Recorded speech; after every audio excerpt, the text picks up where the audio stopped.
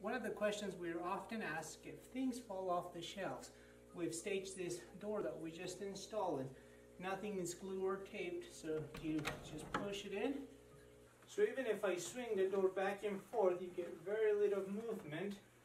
All of our doors are fully customized, and what we did for this client, we took the back of his existing door and we cut it and we attached on the back so you have a nice finish and we'll put his handle on here so you can inside but then you have a bookshelf on the front side which kind of keeps this room secretive. We'll go ahead and slam it shut. And see nothing falls off. I'll do it a little harder.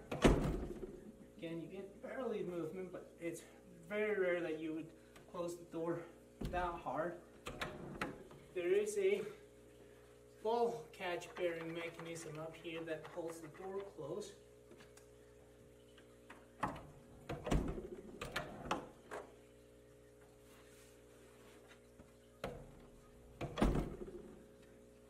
Feel free to reach out if you'd like to get a quote.